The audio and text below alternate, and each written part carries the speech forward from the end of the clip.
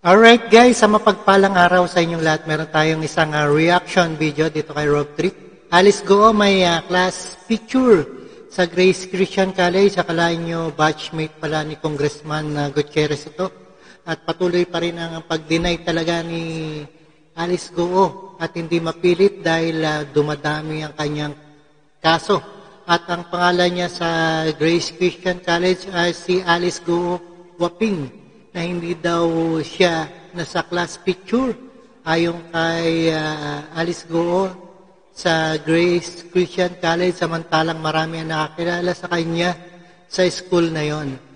Alright, panoorin po natin dito sa Senate of Hearing. Uh, kay Ms. Guo naman, although this might be hearsay for the committee, pero ako po personally, I hope you understand, di po, di po ako naniniwala sa story na kayo po ay sa Tarlac from 0 to 38. Actually, Mr. Chair, can we ask the committee if naka-ready po yung photo? It was already shown before, pero yung class photo po ni Ms. Guo. Secretariat.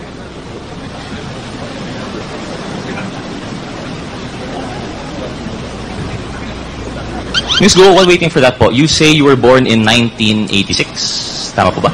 Uh, yes po, Your Honor. That puts you at, how, how old are you now po? 38. 38. And at the time, naalala niyo po yung picture po, no, na na-present last time. But you claim na di niyo po yun, Ano you, po you, yung you picture, invoked Your your Honor? right. Yung picture, class picture niyo po. Uh, I invoke my right You po. invoked your right. Pwede mo naman sabihin, Kaya hindi magsasabi talaga ng totoo dahil ah, dumadami daw ang kanyang kaso laban sa kanya. na hindi ikaw yun, di ba?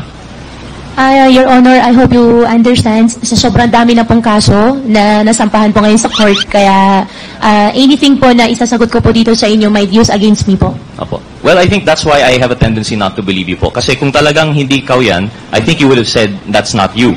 But instead, you invoked your right to self-incrimination. And why do I not believe that? I can identify two of the people behind you.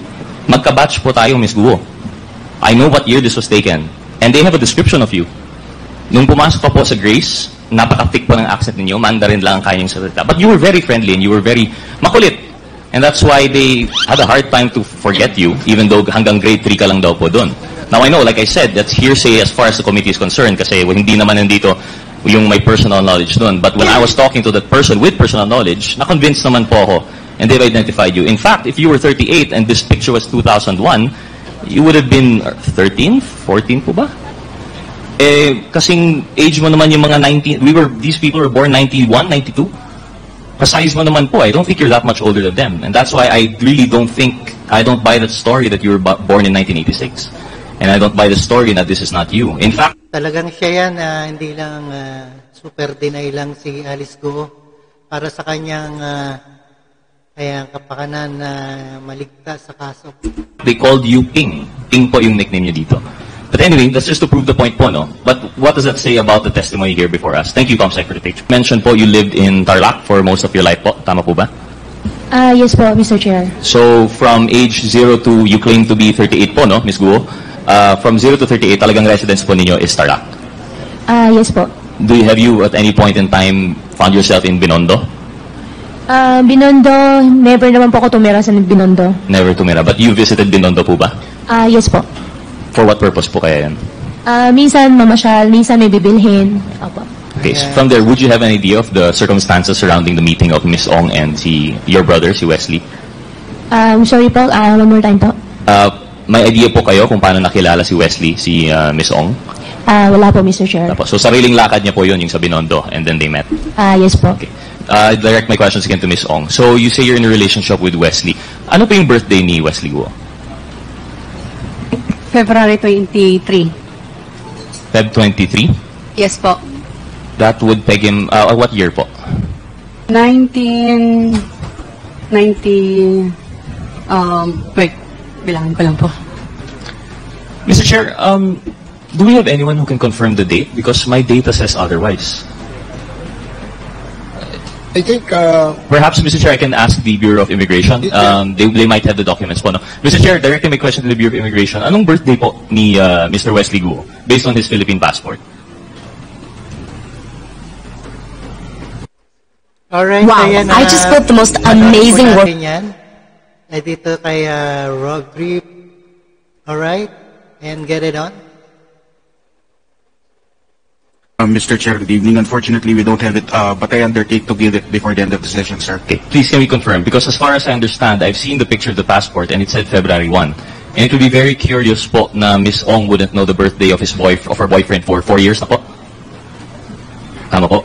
But we'll confirm it later po naman, no? We don't have the data. Would you know po kung anong schools pinuntahan ni Wesley Guo? Boyfriend mo po of four years, hindi mo po alam kung anong schools pinuntahan niya? Hindi po, Mr. Chair. Isn't that curious? Di ka man lang na-curious kung saan po siya pumunta for her schooling? Hindi po. So ano yung mga, what, what aspects of his life do you know about? Alam mo po ba kung ano yung hobbies niya? Maglaro po.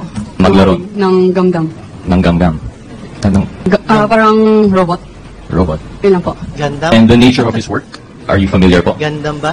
No po. Hindi rin. So as supposedly a couple from 2020 or 2021, hindi mo po alam yung school niya, hindi mo po alam yung interest niya, and I'm pretty sure hindi mo alam yung birthday niya. So that's what I'm trying to point out here, Mr. Chair. I do not believe in the story that Miss Guo, Miss, Al, Miss Guo and Miss Ong know each other through the brother. In fact, I believe the matrix more in which what binds them is their work relation through Mr. Duan Renwu and Mr. Xiang Ji. And in fact, I would, if there's anything that I would change to the matrix, I would say that dapat si Duan Renwu and si Xiang Ji should be in the middle between the two because he's the link that binds. Because, Mr. Chair, I'd like to ask again, between the two, between Baofu, which I think, uh, Miss Guo, ano po yung relation po natin sa Baofu? Ah, Your Honor, after po ako nag-divest, ah, wala na po kami relationship. Uh, but prior po, you were an incorporator. Ah, prior po, Baofu ah, landowner. Okay, landowner po tayo. So Baofu, may link po tayo kay Miss uh, Guo. Kay Miss Ong naman, admittedly, incorporator ng LS99 through Mr. Duan Renwu. So we see, ito na po yung sinasabi ng Matrix na parallel operation. We have here two owners of yung supposedly, uh, yung land-owning uh, corporation, which will eventually lend to the POGO, of which they are still uh, actually uh, a part of. Yung si Mr. Duan Renwu, if I remember, is ninong po ni Miss Ong. Is that correct, Miss Ong? Yes po, Mr. Chair. And admittedly, si Mr. Duan Renwu, kilala rin po ni Miss Guo. Is that correct, Miss Guo? Ah, Your Honor, nakilala ko po siya through Cassie Lee. Through Cassie, allegedly. Through, you met Cassie through the boyfriend na hindi niya nga mabanggit kung anong school or anong birthday. But admittedly, you know si Mr. Duan Renwu, who you were seen together abroad when you escaped the Philippines. Is that correct, uh, Mr. Chair? Ah, Mr. Chair, na-met ko po siya nung sinama po ni Cassie sa amin. Oh, pero kasama po ninyo abroad. Indonesia po ba yan or Malaysia? Ah, hindi po kasama, na-meet ko lang po siya dahil sinama po ni Cassie. Tayo doon. And Mr. Duan Renwu and Mr. Mr. Jiang Chen naman, kaya, paano mo po kilala, Miss Guo? Siya po yung nag-arrange ng hotel niyo, di ba? Ah, Your Honor, hindi ko po kilala si Zhang Jie. Hindi niyo po kilala. Pero in-arrange lang po yung hotel niyo. Um, hindi po siya nag-arrange ng hotel namin, hindi ko po siya kilala. Hindi niyo po kilala. Okay, we'll come back to that.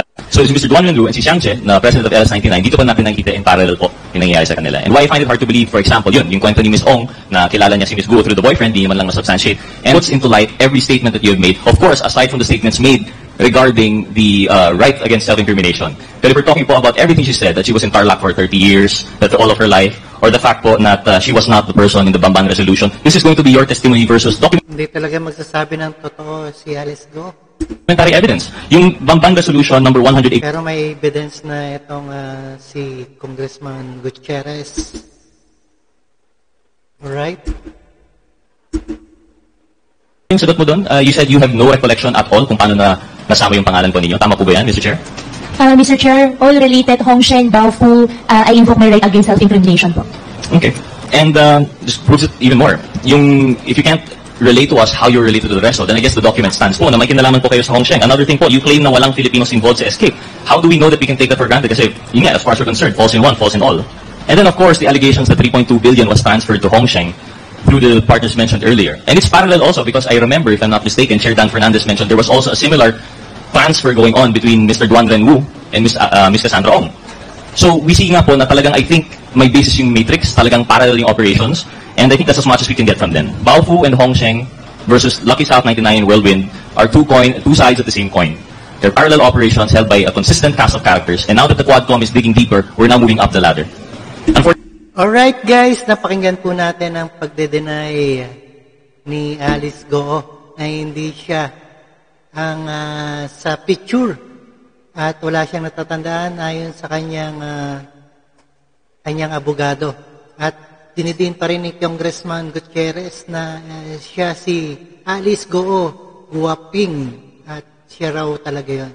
At maraming salamat sa panonood kinig dito kay Rob Trip. And see us again sa ating reaction video. And peace out. I don't think we'll be able